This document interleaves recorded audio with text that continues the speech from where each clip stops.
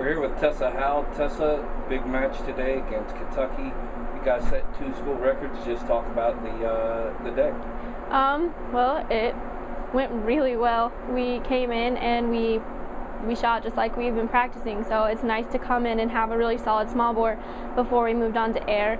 Um, you know, we were ahead of Kentucky at first after small bore, kind of lost them a little bit in air, but even still, we had an outstanding day, and so it's it's nice to see that we still have room for improvement even after that. So. Uh, you guys uh, shot, uh, you know, the same score first two matches and took a big step up today. Just talk about the progression of the team. Um, well, I think you know we we always kind of knew that we had the potential to shoot as well as we had today, um, but it was you know your first match, your first away match, and just taking the steps and preparing. You know, you have to learn to be able to shoot a match just like you train it, and I think today we took the first step in order to do that. Here with Ben Estes after the Kentucky match. Ben, big match today. Just talk about uh, kind of your preparation and the team's preparation coming into today.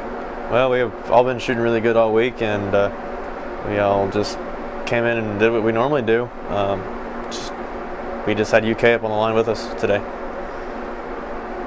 Now, for those who look at the score and see that you guys lost, but you guys set two school records, just talk about uh, the, the score you guys shot today and what that means for you guys going forward.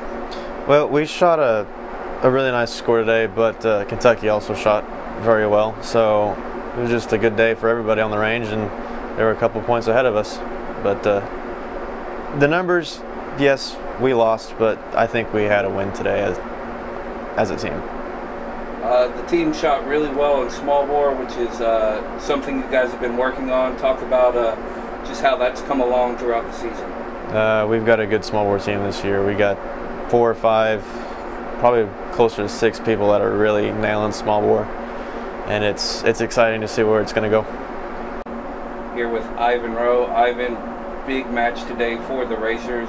Two school records. Just talk a little bit about your part in that and the team's performance overall.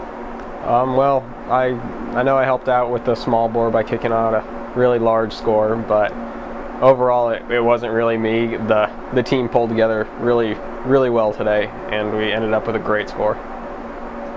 Uh, you guys have a, a, lot of young talent uh, like yourself and Ben, then Barbara came in today with her first match today. Just talk about uh, the where the ceiling is for this team because right now it doesn't really look like there is one.